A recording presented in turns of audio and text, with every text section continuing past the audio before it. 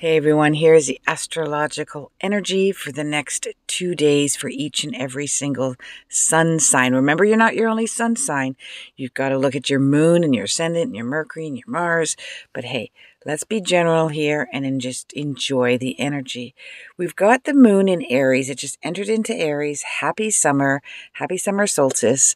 And Aries means the energy of starting new things, having bravery, courage, become that warrior, that inner warrior, bring that inner warrior out and say what you need to say with Mercury and Gemini almost out of its shadow side. And also, we've got, sorry, the moon was in Aries. We've got the sun um, in Gemini. Got the tail end of Taurus. So we're still concerned about finances and money and how we're going to be able to sustain ourselves. But soon it's going to be into Gemini. We're all going to be running around like chickens with our heads cut off.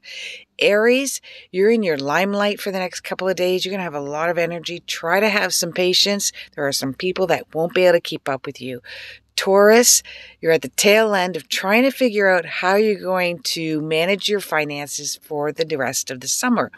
So wrap all of that up and look at how you're spending. Gemini, be careful what you say. Not everybody wants to learn. Some people need their emotions to be healed. But if you're asked for advice, you're the one to give them the answers. You're a great teacher. Cancer, take a look at the heart center. Even though other loved ones are very materialistic, just understand their insecurities. Leo, this can be a frustrating time for you, but in the next two days, you're going to feel very invigorated. You're going to have a ton of energy. You're going to spend some important time with family. Virgo, you're at the tail end of actually making some money. So save a little bit of money and use that money that you've worked really hard for for a month and buy something. Treat yourself. Libra, this is uh, tough energy for the next couple of days. You're going to feel very combative. You're going to feel other people are, and you're going to debate. Always show the other side of each issue. Not everybody wants to know that.